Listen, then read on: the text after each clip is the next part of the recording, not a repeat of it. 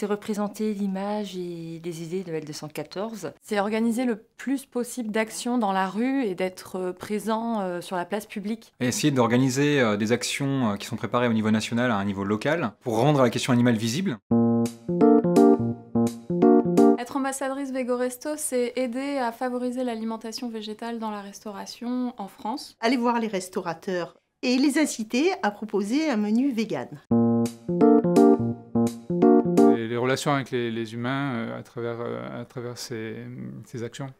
Organiser des stands de dégustation pour faire découvrir les alternatives euh, végétales qui existent et jusqu'à aller rencontrer nos députés quand il faut qu'on aille défendre des projets, des projets de loi ou en tout cas des amendements qui pourraient faire évoluer la société.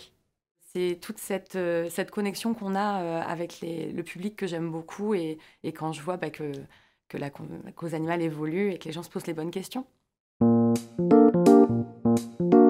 J'ai grandi dans une ferme avec un père éleveur et donc j'étais sensible. Euh, j'ai côtoyé des animaux de ferme euh, toute petite et donc j'ai pu euh, appréhender leur, leur, vie, leur sensibilité. Ça m'a fait comprendre depuis toujours qu'ils étaient égaux au moins avec les, les chiens et les chats et, et, par extension avec nous, en tout cas sur les, les libertés fondamentales et les, les ressentis fondamentaux